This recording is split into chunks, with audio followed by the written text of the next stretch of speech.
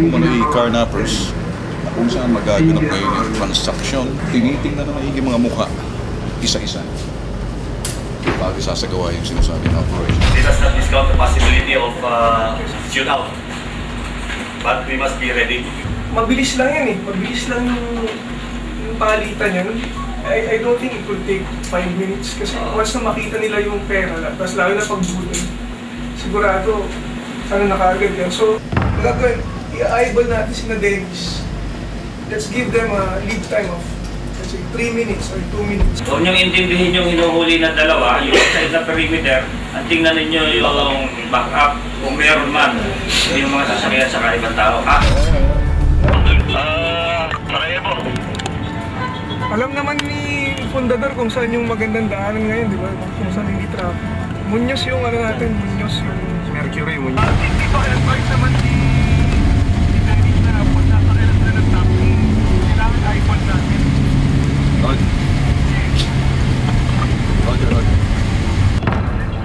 No, ibabato ko sa'yo pag nakasakay na kami sa taxi. Pinakakasana yung grupo ng NBI um, Intelligence Service kasama ang grupo ng BITAG para may dokumento ang lahat.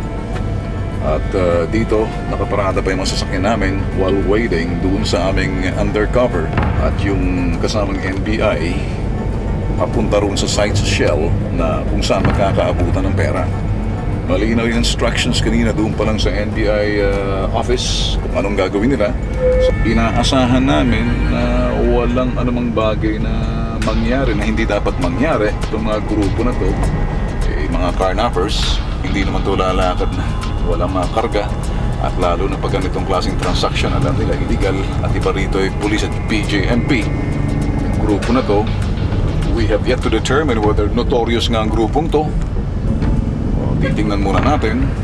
So, puproceed na tayo dahan-dahan papuntang uh, target area na kung saan eh, doon magkakabayaran doon sa mga carnap vehicles na ipinibenta sa aming undercover na may kasamang NBI.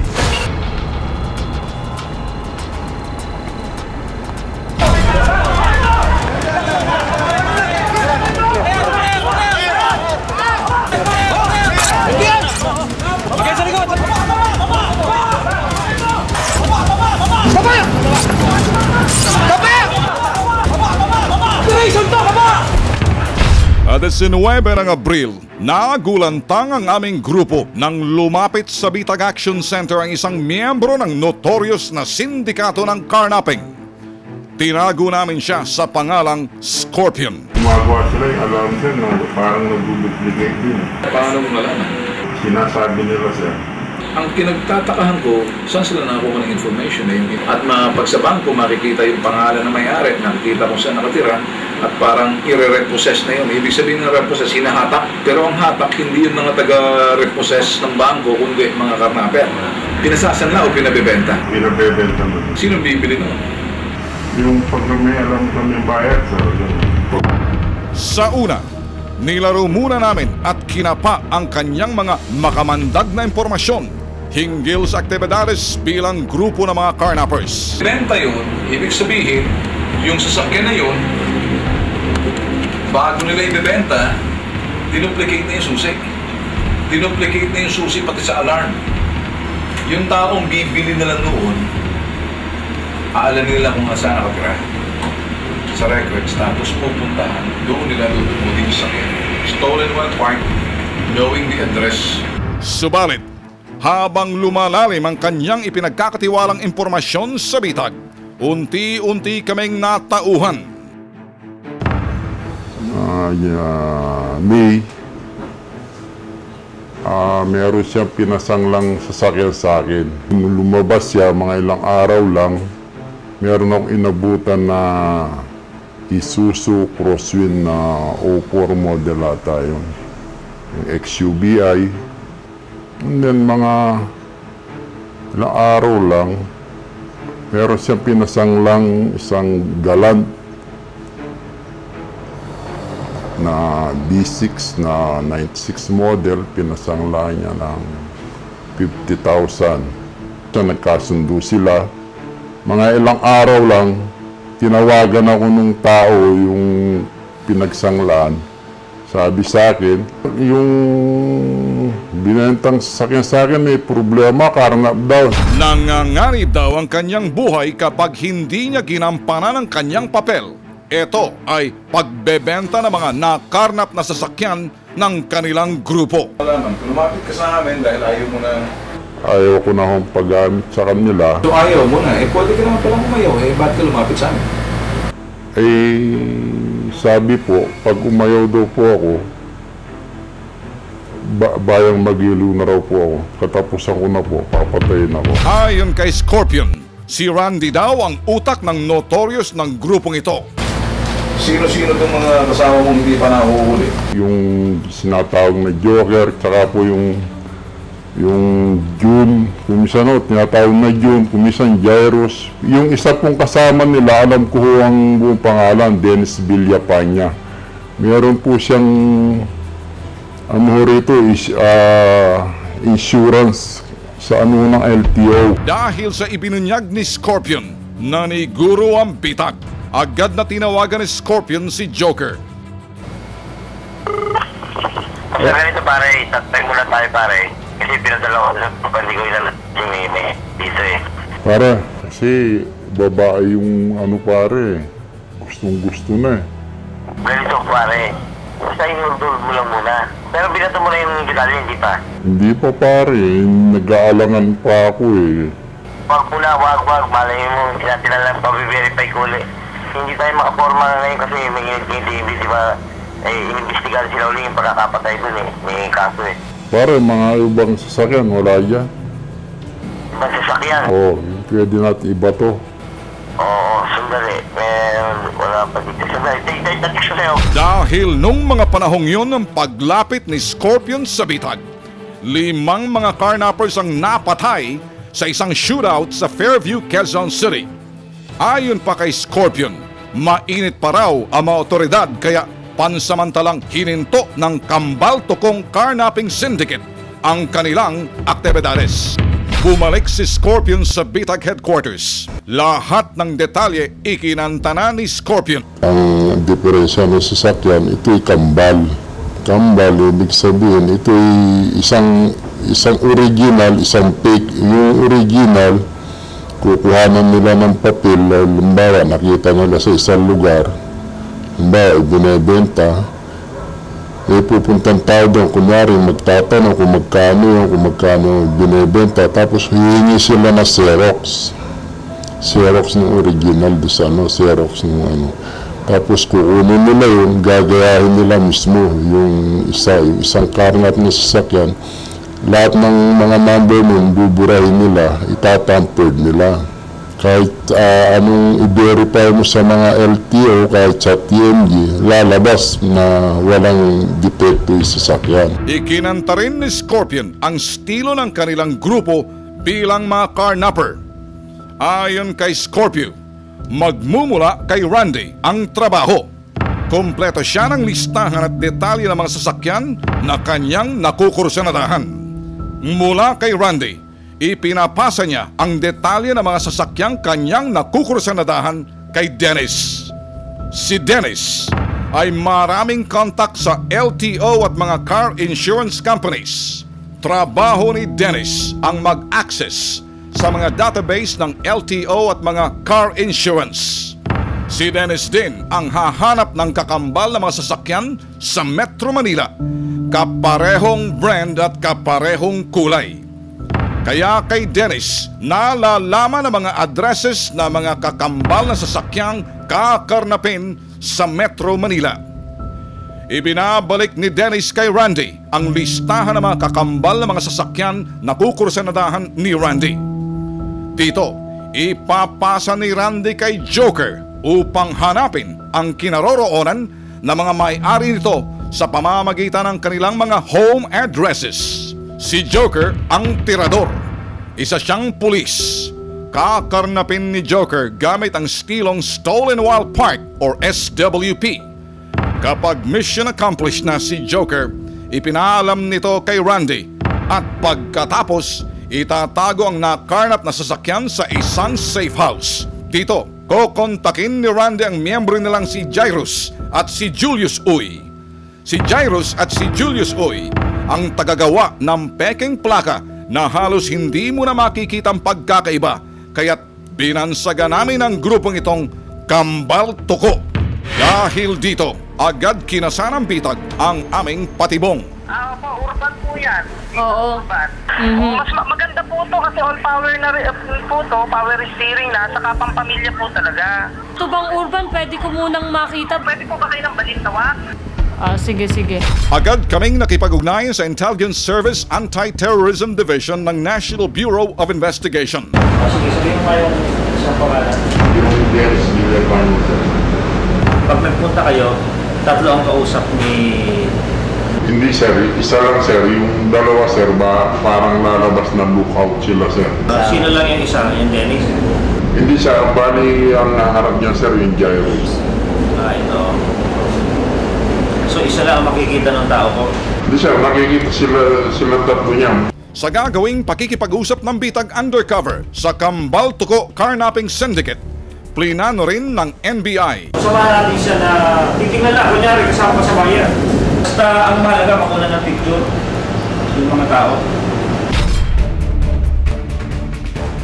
Inaikutan muna ng bitag at NBI ang lugar na napagkasunduan ng bitag undercover at si Jairus. Sumonyos na ito eh. Mas dahan-dahan ka dyan sa kanila. Kaya na yata yun eh. Diretso ka, diretso ka pa, diretso ka pa. Di ba yan yung pula na yan? Hindi, Nissan eh. Nakaparada sila doon yan eh. Ayun, ayun, ayun, ayun, yung pulang yun, ayun. Ayun yung nakaharap dito. Oo, yung nakaharap. Nakaharap dito. Saan, yun, yun, yun? Oo, yun yung nakaharap dito. Pagdating sa area, Ako magpakarga doon. Yan yung Nissan. Sige. Yan 651. CDJ yan, no? CDJ. Yan, hop, yap. O yan, oh. CDJ yan, ba? 659. 651. Oh, 651 yan.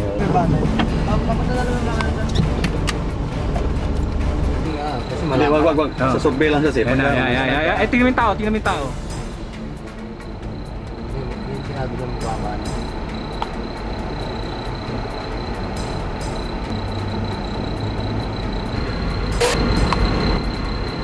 Oh, pobre.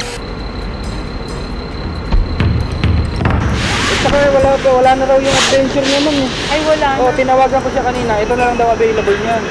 Oo.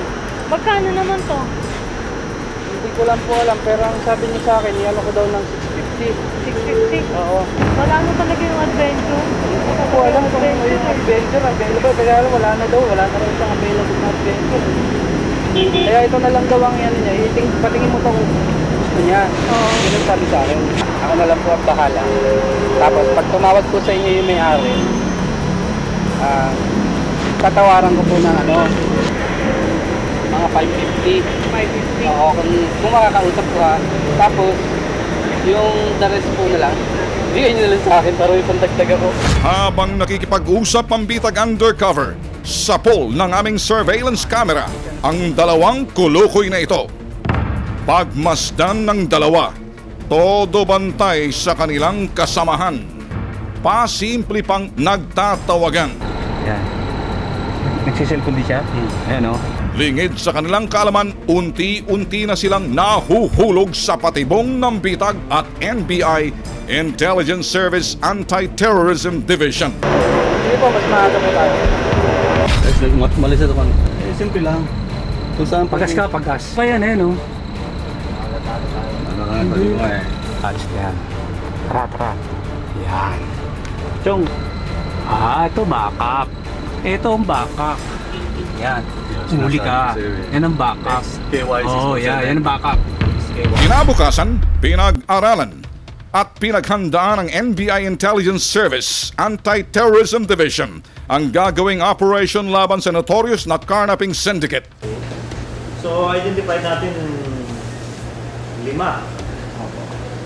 Di ba? Maya-maya lang isang tawag ang aming natanggap mula sa sindikato. Ayos na pare, nakapag-withdraw na ng pera. 1.2. 1.2. Sino kasama niyan? Yung tatay niya, tsaka nanay niya, tsaka ako, tsaka isang driver. Ah, so kaya-kaya. Oo. Uh, oh, sige, hindi na titingnan niya, hindi na mag-verify. Hindi na, wala nang verify. Pinunit ko na yung Xerox eh. Pare bukas mga 10 o'clock, ha? 10 to 11.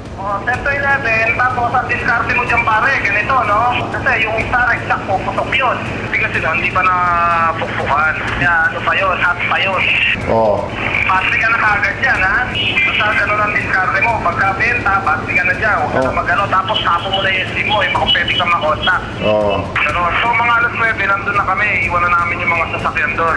Oo, sige pare. Tapos pag-bitaw ng pag-iwan ng papeles, pag-receive ng pera, sibat na kagad. Kauna-unahan sa larangan ng Investigative TV, sasagawa ngayon ng grupo ng bitag kasama ang Intelligence Service ng uh, National Bureau of Investigation, NBI. Itong isang operasyon, by bus entrapment.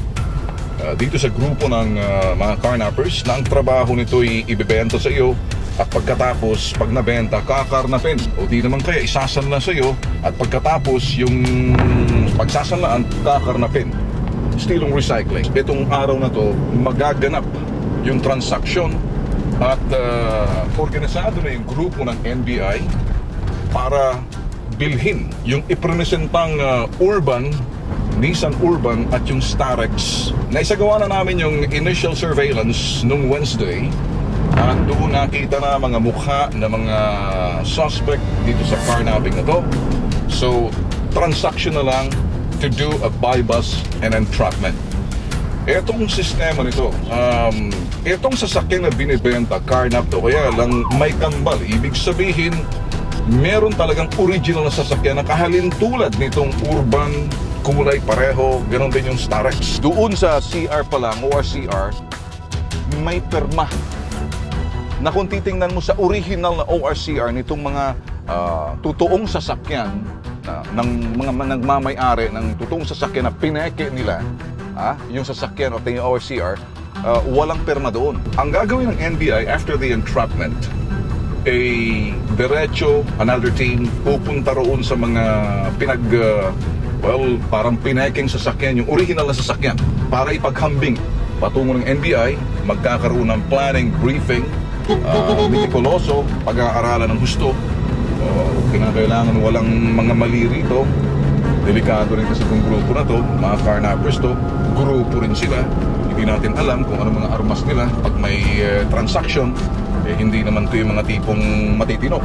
So, ina-expect na sana wag naman, ah, walang mangyari ng mga bagay na hindi dapat mangyari. Kaya lang, yun ang sinasabi lagi, pag sa law enforcement, you ought to be ready and come back in whole peace.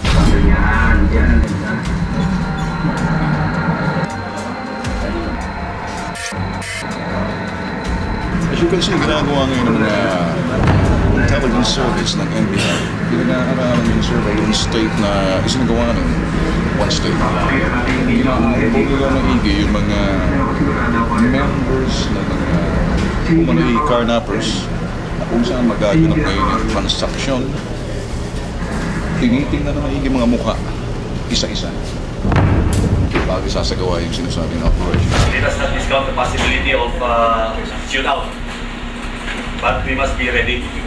Some of you are uh, unwilling, then uh, you can say, you tell us if you will not uh, join with us. It's alright. Mabilis lang yan eh. Mabilis lang yung, yung palitan yan. I, I don't think it will take 5 minutes kasi once na makita nila yung pera, tapos lalo na pag sigurado, ano na kaagad yan. So, ang gagawin, i-eyeball natin si na Dennis. Let's give them a lead time of 3 minutes or 2 minutes. Huwag niyong intindihin yung hinuhuli na dalawa, yung outside na perimeter, at tingnan ninyo yung backup kung meron man yung mga sasakyan sa ibang tao. Ah,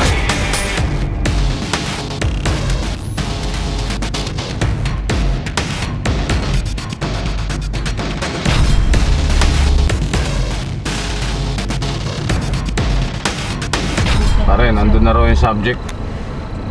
Oo, medyo... ah, para... Eh, ano mo sa... pa- Pasa mo sa tropa para at least eh, preparation. Nakakasana yung grupo ng NBI um, Intelligence Service kasama ang grupo ng BITAG para may dokumento ang lahat. At uh, dito, nakaparada pa yung mga sasakyan namin while waiting doon sa aming undercover. At yung kasamang NBI, papunta roon sa site sa Shell na kung saan magkakaabutan ng pera. Malinaw yung instructions kanina doon pa lang sa NBI uh, office kung anong gagawin nila. So, inaasahan namin na walang anumang bagay na mangyari na hindi dapat mangyari. Itong mga grupo na to, eh, mga carnappers, hindi naman to lalakad na walang mga karga. At lalo na pag ganitong klaseng transaction, alam nila, illegal. At iba rito ay police at PJMP. Yung grupo na to, we have yet to determine whether notorious nga ang grupong to titingnan muna natin. So, puproceed na tayo dahan-dahan papuntang ah, target area na kung saan eh, doon magkakabayaran doon sa mga carnap vehicles na ipinibenta sa aming undercover. Okay. Sundan, sundan. Parking mo lang ha, parking mo lang. Yan doon sa may, sa may Parking jeep. ka lang dyan. Sa may jeep. Sa may, tabi mo sa may kotse. Yan yung eyeball. Asan yung isa? Ayun na, huwag mo siyang Puti na, Ayun. Wag, wag, teka lang. Teka lang, teka lang. Baka tumakbo yan na kay Tim ha. Teka lang. Kasama, andun yung ayun. Ayan yung Innova ang makatras. Ano sila ka, Roger? Asan na kayo? Asan na kayo? Teka, teka, aalis na, paalis na. Oh, pasok na, pasok na, pasok na. Okay, okay. Ilang segundo lamang ang aming hinintay. Makakuha na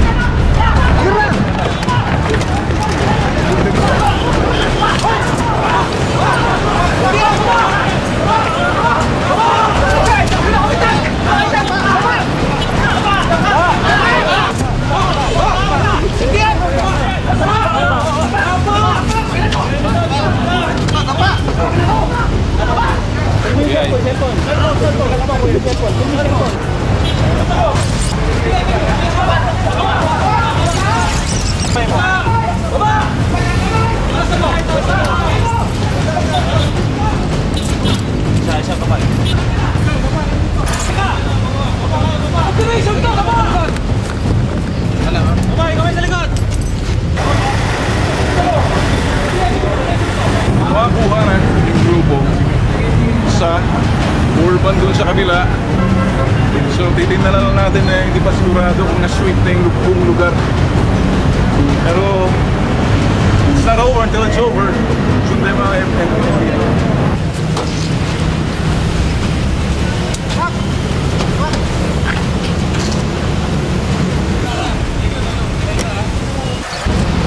Asan siya pa?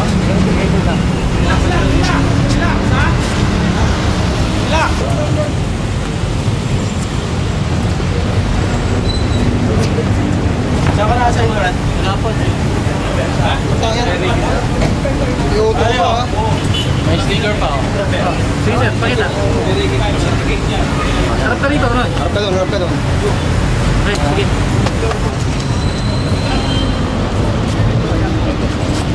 Dahil sa operasyong ito, nagulantang ang lahat ng tao sa gasolinahan, maging ang mga pulis na sumugod dito. Pakinggan ang hirit nitong si Dennis. Bukunay lumulusot pa. Hindi ko po alam, sir. Wala akong knowledge. Wala sa kasi nga wala. Kasi sabi po daw nila, kahit po daw mga plus 5, makakakuha po daw. Gaano ka nakatagal sa kasama mo? Bago lang, sir eh. Mga ilang araw lang. Ito nga lang, sir, ang ano po. Ilang unit na nabenta niyo mula na sumama? Wala po ako, sir eh. Ito lang po ang first time po sumama.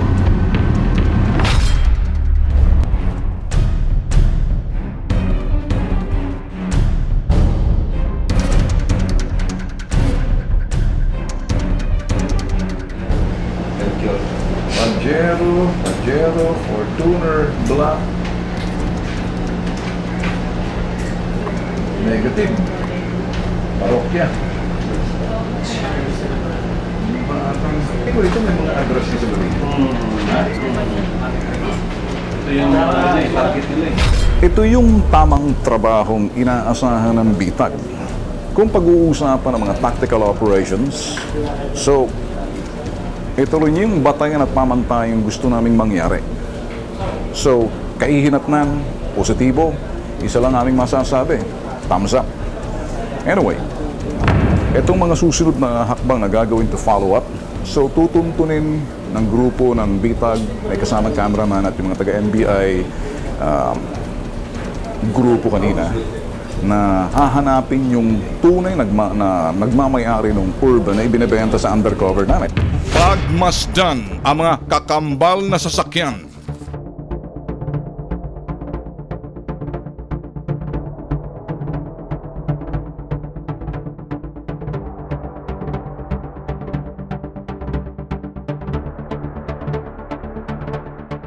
So, dahil sa reklamo ni uh, ng mga NBI, tsaka ni Mr. San- Santillan at tsaka ni Ms.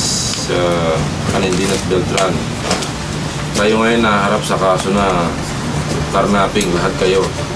Lahat kayo. Sa karnaping, pwede kayo makalaya temporarily kung makumpiyansa kayo ng tag 180,000. Meron pa rin kaso si Mr. Villapanya pero yun ay hindi sa korte, kundi sa piskalya. Yung sa paggamit ng ng uh, IT, police, badge. At meron din kayong isa pang kaso na didinggin sa piskalya dahil sa sa pangkamapping case ng Starex Bank.